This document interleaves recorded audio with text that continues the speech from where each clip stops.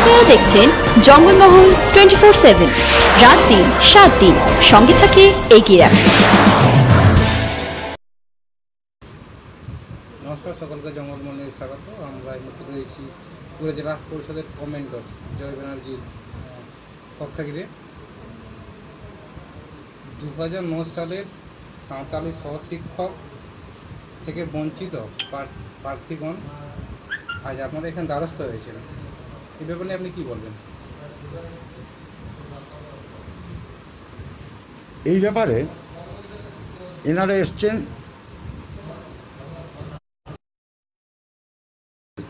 আদিবাসী সমাজ থেকে সবাই এসছে সমস্ত জায়গা থেকে। একটা অদ্ভুত লাগছে যে যখন বামফ্রন্ট সরকারে ছিলেন, সে সালটা হচ্ছে একটা দু নয়, একটা হচ্ছে দু হাজার এগারো বই বারো বোধ এগারো কি বারো যাই হোক। তখন কিন্তু আমরা ক্ষমতায় ছিলাম না। তখন একটা সার্কুলার ছিল, যারা অলচিকি ভাষা মানে সাঁওতালি ভাষায় যারা পাস মানে জানেন সাঁওতালি ভাষা, তাদের জন্য রিক্রুটমেন্ট নেওয়া হবে, চাকরি দেওয়া হবে। যারা অলচিকি ভাষা জানেন সাঁওতালি সমাজের লোক, তারা পরীক্ষা দিয়েছিলেন এবং তারা কোয়ালিফাইড হন তারা পাসও করেন। কিন্তু অদ্ভুত ব্যাপার বামফ্রন্ট আমলের যারা সাঁওতালি ভাষায় পরীক্ষা দিলেন অ্যাকচুয়াল যারা আদিবাসী সমাজের লোক, যারা অলচিকি ভাষা জানেন, তাদেরকে কিন্তু অ্যাপয়েন্টমেন্ট দেওয়া হলো না। দেওয়া হলো কাদের? যারা সাঁওতালি ভাষা জানেন না, আদিবাসী সমাজের লোক না, তাদেরকে সেখানে চাকরি দেওয়া হলো। তা খুব অবাক লাগছে। আমি জানি না, আমি আগেবারও যখন, আপনি জানেন বোধহয় আপনারা, যে আমি আদিবাসী সমাজের জন্য জঙ্গলে জঙ্গলে পাহাড়ে পাহাড়ে ঘুরে বেড়াই। অযোধ্যা পাহাড়ে যেতাম ওখানে অখিল সিং সর্দার, যিনি ওখানকার পুরো নেতৃত্বটা দেন আদিবাসী সমাজের। অযোধ্যা পাহাড়ে আশপাশে জঙ্গলমহলের সমাজে অখিল সিং সর্দার, তার সমস্ত আদিবাসী সমাজকে নিয়ে তিনি আজকে এসছেন, অখিল সিং সর্দার এসছেন এবং সমস্ত আদিবাসী সমাজের লোক এসছেন এখানে। তো আমি এটা অবিলম্বে এখনই দিদির কাছে, মাননীয় দিদি মুখ্যমন্ত্রীর কাছে এখনই এই কপিটা, আপনাদের যে কপিটা আছে, আমি পাঠিয়ে দিচ্ছি। মাননীয় অভিষেক ব্যানার্জি, যিনি আমাদের যুবর সভাপতি এবং পশ্চিমবাংলার নেতৃত্ব যে যুবক, তার কাছেও এই কপিটা পাঠিয়ে দিচ্ছি।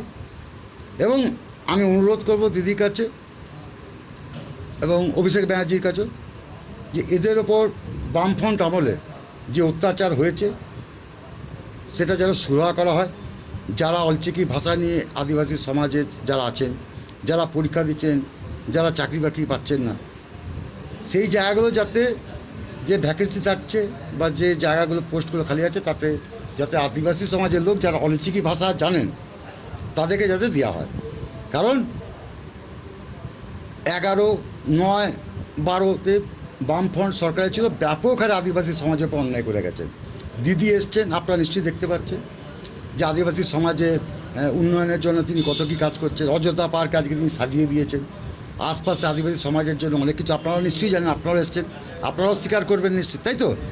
যে আজকে দিদি ব্যাপক হারে জঙ্গলমহলে আদিবাসী সমাজের জন্য কাজ করছেন তো আশা করছি আপনাদের ওপর যে অন্যায় অবিচার হয়েছে নিশ্চয়ই যাতে সুবিচার পান সেই হিসাবে আমার যতটুকু করার আমি আপনাদের জন্য করব। এখানে অফিস সিংহ বসে আছে। এখানে আপনার নামটা কি? নিরঞ্জন কর্মকার এরাও সব আদিবাসী সমাজ। আপনাদের নাম? নিরঞ্জন মুর্মু। ধনঞ্জয় মুর্মু। যাক সবাই এসছেন এখানে। তো আমি আপনাদের কথা দিচ্ছি। যে যতটুকু আমার ক্ষমতা, আমি নিশ্চয়ই আপনাদের জন্য করব। এর ভেতর আরেকটা কথা আপনাদের বলে রাখি। আদিবাসী সমাজে একটা নিয়ম আছে যে আদিবাসীদের যে জমি জমা থাকে, সেগুলো কেউ বাইরে কেউ নিতে পারে না। এটা আদিবাসী সমাজের দীর্ঘদিনের দাবি। তো কিছু কিছু দিন থেকে করছেন এবং অন্য রাজনৈতিক দলের আমি নাম করতে চাই না, তাদের কিছু কিছু লোক ঢুকে আদিবাসী জমি কেড়ে নিচ্ছেন। আমি আপনাদের কথা দিচ্ছি, আপনাদের আদিবাসীদের জমি অন্যায়ভাবে অন্য সম্প্রদায়ের লোক এসে নিয়ে নিচ্ছে, আপনারা আমাদেরকে জানান। আইনত যা ব্যবস্থা নেওয়ার সরকার তা নিশ্চয়ই নেবে, এটা আপনাদের আমি কথা দিচ্ছি। ঠিক আছে? আপনারা এই বিষয়ে নিশ্চয়ই ভরসা করতে পারেন। এটা এখনই আমি অভিষেক ব্যানার্জির কাছেও পাঠিয়ে দিচ্ছি আর দিদির কাছেও পাঠিয়ে দিচ্ছি, যাতে উনি এই সমস্ত কিছু দেখে বিচার করে আপনার জন্য কিছু চিন্তাভাবনা করেন। আশা করি দিদি যখন আপনাদের সমাজের এত কাজ করে দিয়েছেন, আজকে পাহাড়ে, জঙ্গলে আদিবাসী সমাজের জন্য অনুন্নত মানুষের জন্য এত করছেন। তখন তিনি এটা নিশ্চয়ই দেখবেন। আপনাদের সময় আপনাদের উপর বামফ্রন্ট আমলে যে অন্যায় অবিচারটা হয়েছে তিনি নিশ্চয়ই দেখবেন আশা করি। ঠিক আছে? আপনারা নির্ভয় থাকুন ভরসা রাখুন হ্যাঁ? এবং সংগঠনকে আরেকটু তাজা করুন এবং একতাবদ্ধ হন। আমরা আছি আপনাদের সাথে। আমরা নিশ্চয়ই সহযোগিতা আপনাদের করব। ধন্যবাদ ঠিক আছে। ওটা দেখালেই তো। করে নেব যারা এসেছিলেন এখানে দাবি নিয়ে তাদের সঙ্গে আমরা একটু দেখিয়ে দেবে দ্বারস্থ হয়েছে।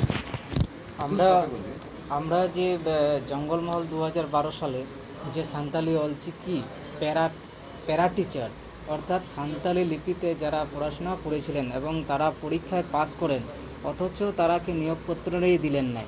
কারণ তারা সত্যিকারের তারা সান্তালি স্টুডেন্ট ছিলেন এবং সান্তালি মাধ্যমে পড়াশোনা করেছিলেন এবং ফর্ম ফিল আপ করে তারা পাস করেন কোয়ালিফাইড হয়েও তারাকে বঞ্চিত করে দিলেন অ্যাপয়েন্টমেন্ট থেকে।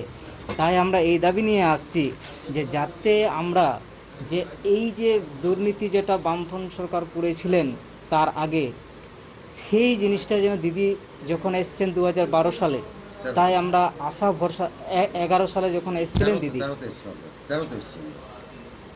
যাক দিদি, এখন আমরা দিদিকে জানাতে চাই, যাতে আমাদের এই দুর্নীতি যেটা হয়েছে, সেটা যেন সমাধান করেন কারণ বাংলা মিডিয়াম থেকে নিয়োগ করা হয়েছে।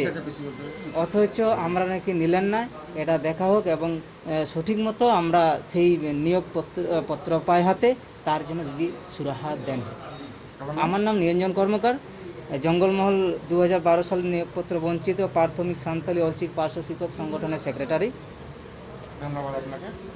আপনারা দেখছেন, সকলেই এখানে উপস্থিত হয়েছেন।